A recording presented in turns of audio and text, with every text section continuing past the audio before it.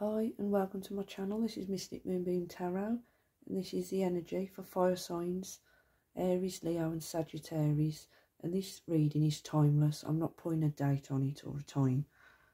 Um, it is a general reading so it won't resonate for everyone so just take what fits and leave the rest. Excuse me. Right, fire signs. Someone seems to be going through a difficult situation at the minute that seems to have you trapped. For some, it could be hurtful. It could be an empty relationship, or an unhappy or stultifying job, or even a behaviour or an actual addiction. Or it could even be a negative sabotaging belief system as well. This situation, whichever it is, has been holding you captive for some time, keeping you trapped. But you need to know there is a way out and there always has been. It just takes some effort and determination on your part. Now, don't let the past ruin your future. You do have the power to move forward. For some, it is regarding another person. Now, whether this is a business, a partnership, a friendship, or even a romance, you need to stand up for yourself and take action on your own behalf. You're being asked to broaden your horizons as well in both your personal and business lives. Don't limit yourself to only one direction because your opportunities are greater than what you see. But you're not seeing this at the moment because you're feeling trapped within a situation. Now, there could be a potential partnership that happens. I am seeing travel or relocation maybe on the agenda as well for some. And for others, I do see a reunion and someone that has been feeling trapped may now be ready to move towards you, or this could be you.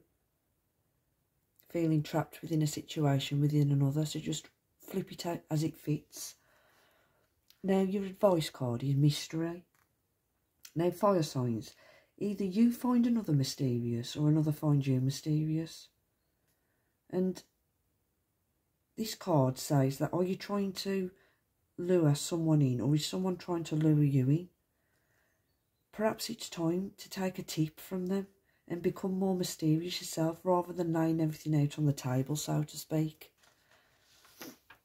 Now, if it's regarding another person, which for most I do feel it is, allow yourself to be unravelled over time as you get to know someone, rather than telling and sharing everything at the first meeting. So, like I said, for some, there's somebody that's going to come into your life. They've been feeling trapped within their life, in some area of their life, and they're going to be coming forward. And it's saying, get to know this person slowly. Don't tell them everything at once. Don't share everything with them at once on the first meeting. Do it over a course of time. Now, I'm also seeing there could also be a mask someone is using to hide something as well from you or those around them. If you feel this is the case, it's saying this card mystery, mystery. It's saying don't turn detective. Instead, ask questions and see how they respond, and notice if they become become open or guarded. You need to let things unfold naturally if this is regarding a relationship, and only open up when the time feels right.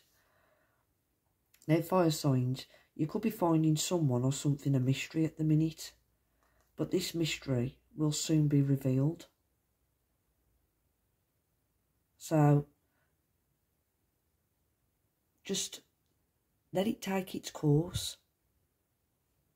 And if someone's acting this way towards you, it's saying be the same with them.